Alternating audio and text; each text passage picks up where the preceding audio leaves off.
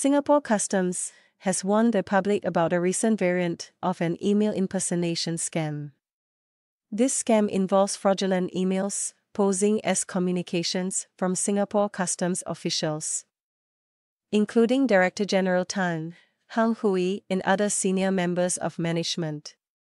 These emails request recipients to complete a task. In a Facebook post on Monday, March 4, Singapore Customs clarified that these emails are not genuine and urged the public to remain vigilant against such scammers.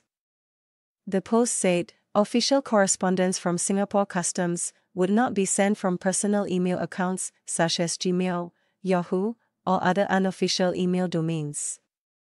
To verify the authenticity of emails purportedly from Singapore Customs, individuals are advised to confirm if the sender's email address includes the domain at customs.governmentsg. Alternatively, they can reach out to customs underscore feedback at customs.gov.sg for verification when uncertain. Singapore Customs said it takes a serious view of such impersonation attempts, noting that they undermine public trust in the organization.